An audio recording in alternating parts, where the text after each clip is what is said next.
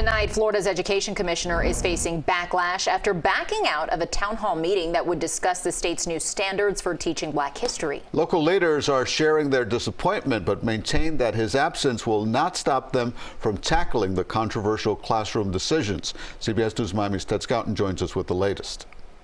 And I just feel it's such disrespect for, for him not to be there to take questions from the black community. Margaret Reed is coming to tonight's town hall. She is helping raise her great grandson and had questions for Florida Education Commissioner Manny Diaz Jr.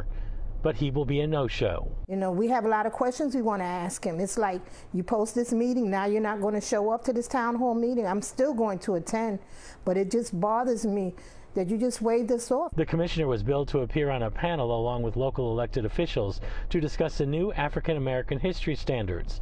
It tells educators to teach how slaves developed skills which in some instances could be applied for their personal benefit. As leaders, if we're if we're bold enough to put forth these policies, we have to be bold enough to to defend them and defend them in front of the people who they affect, regardless of what of what the response might be. State Senator Shevrin Jones organized the town hall. More than 1,300 people have RSVP'd. He said Diaz told him earlier this week that he would not be able to make it. You were coming to address the people uh, who reside here in this state, and for there to be an empty chair tonight for the leadership as far as when it comes to education here in Florida. That's unfortunate.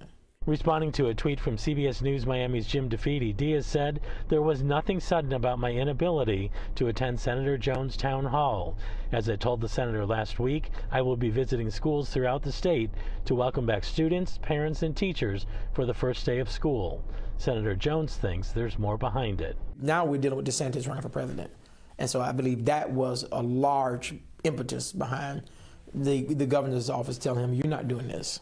Today, the Florida Department of Education tweeted out pictures of the commissioner at schools in Osceola County. Reed still has questions. I don't understand why he can't be there. It's a conflict with what schedule at 7 o'clock? How, how many things you got going on at 7 p.m. that you can't come to this meeting? The town hall gets underway at 7 p.m. Jones said that he is hoping that the commissioner as well as the governor's office will be tuning in to hear the concerns of the residents. In Miami Gardens, Ted Scouten, CBS News Miami.